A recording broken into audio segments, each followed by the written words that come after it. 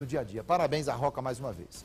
Olha, um casal foi preso suspeito de enterrar um feto no quintal de casa na Vila Cafezal, que fica aqui na região centro-sul de BH. Olha só.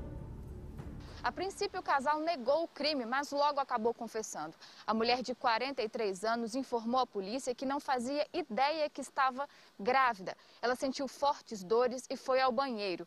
Foi nesse momento que o feto caiu no vaso, segundo ela, já sem vida. O marido ficou desesperado e tentou chamar o SAMU, mas foi impedido pela companheira. Os dois então decidiram enterrar o feto no quintal de casa. A polícia chegou até o casal através de uma denúncia anônima. Os dois foram presos. Ela foi encaminhada à Santa Casa para fazer alguns exames. O homem foi encaminhado à Ceflan 3. Os dois vão prestar depoimento e o caso vai ser investigado pela polícia. Obrigado, Larissa. A gente sofre mais uma vez com essa informação.